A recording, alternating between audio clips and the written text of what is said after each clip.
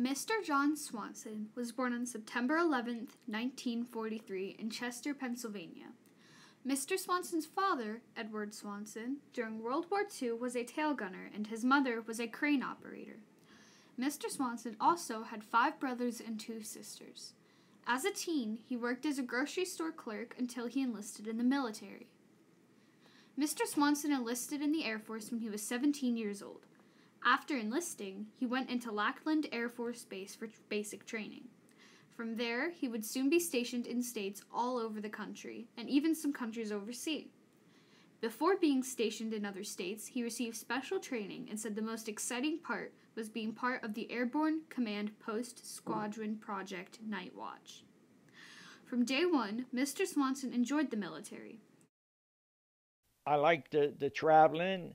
I, uh, it was very good. The military was very good to me. Uh, During the time of John Swanson's services, he served in numerous places. Mr. Swanson served in Texas, Virginia, Thailand, Kansas, Vietnam, Mississippi, Germany, and Washington, D.C. A memory Mr. Swanson has from serving abroad was when they arrived at NKP, Nakhon Phanom. When he arrived there, the loadmaster said to them, said, All you guys, this is your home for the next year. And we looked out, and all it was was a big opening in the middle of the jungle. And I thought, oh my God, living in a tent for a year. While in the Air Force, Mr. Swanson created many friendships, and today he still remains in contact with some of them. Every few years or so, they meet up and talk about old times. Mr. Swanson says that he can go to almost every state and he would know someone there. Mr. Swanson was a part of several units such as the SAC, TAC, Air Training Command, and Military Airlift Command. Although he was part of many units, Mr. Swanson spent most of his time in the SAC units. My day, if you were in any other command other than SAC, you weren't in the Air Force. SAC is short for Strategic Air Command and was a Department of Defense and a USAF Major Command. TAC is Tactical Air Command and is also a major command of the USAF. Also, John Swanson was a part of the NCO casualty operation. He was stationed at the Bergstrom Air Force Base in Texas. The most interesting case Mr. Swanson came across was with a grandma who had lost her son and would not accept the child he had with a Filipino woman. He had a young airman who was who married a Philippine girl and they were stationed in the Philippines.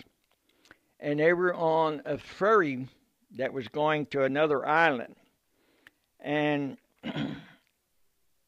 the ferry hit another ship and the ferry went down, and there was a few hundred people that drowned, and the airman and his wife was ones who drowned them.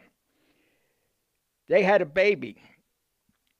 Her the Philippine parents of the wife knew that the baby would get a better life in the United States. So they were sending the baby back to the airman's family, and we received a message when the baby would arrive. We went to the airport, picked up the sign for the baby from the Casualty Assistance Office from uh, California, signed for the baby, took it out to the grandparents. Well, the grandmother when she answered the door and told us that that baby wasn't hers or wasn't a member of the family and, and slammed the door in our face. And all I could think of, here I am standing with the baby in my hands. What am I going to do with it? I guess take it home to the wife to see until Air Force tell me what to do. Well, then the grandfather came out and took let us in and everything. But the bad thing about it was that uh, the grandmother never did accept the baby, and the grandparents finally separated.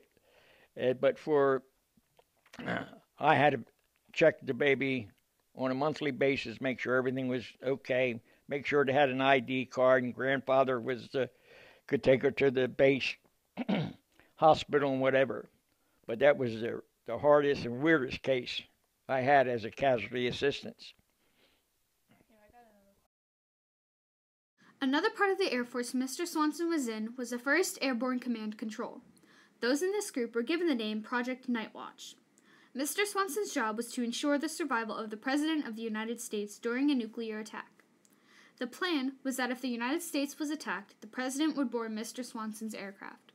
The plane would fly out and over the Atlantic and would fly up and down the East Coast. The President could run the country from their aircraft. Everything about the unit was special.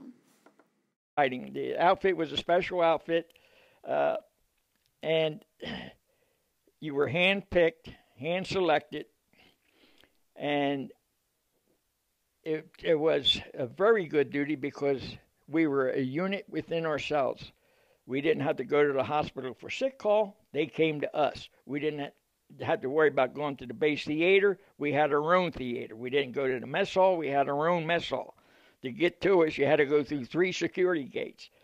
The bad thing about that is if I would get a speeding ticket or my wife would get a speeding ticket, or my kids would get in trouble at school. I would lose. I would never be able to enter the. gate. I would call the my first sergeant, tell him the wife got a speeding ticket. He would tell me where do you want to go, and they would cut orders, and I would be kicked out of the outfit. But it was the best duty I had. Also, since Mr. Swanson's job involved the safety of the president, he got to meet President Ford and Nixon. Both of the presidents came to check out the unit, but neither went through a drill. The aircraft Mr. Swanson flew in was a 707 at first and then the 747. The switch from a 707 to a 747 came after a scary incident. Something happened where the security uh, communications went dead for the whole plane. And so when the plane plane landed, the aircraft commanders, the squadron commander, the maintenance chief, and the operations officer all wind up in front of the, the president at the White House want to know what happened. So the Air Force was always saying that it was too much communications put on that airplane. So that is when they ordered the 747. And we got that 747. And it was one hummer of an airplane. This incident, 747s were used to avoid a security failure in the future. Also, while overseas, Mr. Swanson found ways to stay in contact with friends and family. He wrote and mailed letters as well as recorded tapes of him talking and mailing them so his family could hear his voice and make sure he's okay. While overseas in other countries, Mr. Swanson did not have a lot of recreation time. In Vietnam and Thailand, he and the other men worked around the clock. You had a job to do. If it took you eight hours, you you did it. Then it was something else come up. In the few times Mr. Swanson had spare time, he wrote letters back home and did laundry. On three special occasions, he flew into Saigon and was allowed to make a three-minute phone call to his wife. After six months of being in Vietnam, Mr. Swanson had one week off, which was called R&R. During this time, Mr. Swanson went to Hawaii with his wife. After serving in the Air Force for 21 years, Mr. Swanson earned many awards. One of the more prestigious medals he earned was the Expedition Service Medal. He earned this medal because he was a part of the group of Americans who entered a tor- territory or country first. Another award Mr. Swanson earned was the NCO Academy Ribbon, which he earned for his academic achievement. When the Vietnam War ended, Mr. Swanson was in Washington, D.C. with the 1st Airborne Command Control Unit. Mr. Swanson returned home by flying out of Saigon. When he arrived in the States, Mr. Swanson was walking through an airport in San Francisco, and a few civilians started to say nasty comments to Mr. Swanson and his friends. Mr. Swanson and his friends stopped the comments, and afterwards, Mr. Swanson boarded a flight to Dallas to meet his kids and wife. Also, when Mr. Swanson returned home, he had to adjust to civilian life. Mr. Swanson was lucky because he made the military into a career. See, in my case, I stayed in the service. So when I went to a, a base, there was always guys that went through the same things I did or similar things. And you could sit and you talk. So you didn't have you know, whenever you felt down low and all that, you didn't let it get to you because you talked to other people. Where the guys that got out and went home didn't have nobody to talk to. And then back then, you know, the VA, it, to this day, I don't want no parts of the VA. But, you know, they had nobody to talk to.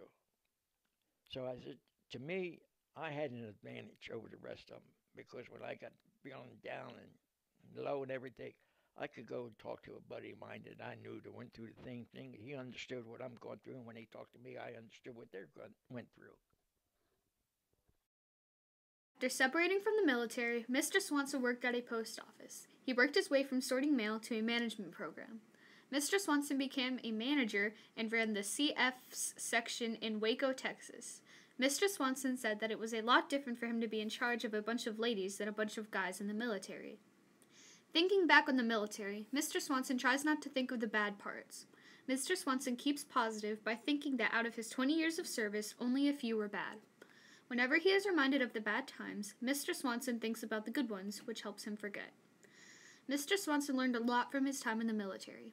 He learned that life is short, so if you're going to do something, do it. Also, just enjoy life. Finally, Mr. Swanson's message for a future generation is America